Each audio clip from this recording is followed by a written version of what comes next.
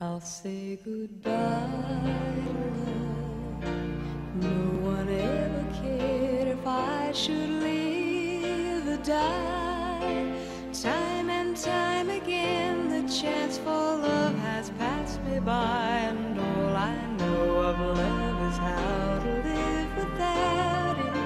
I just can't seem to find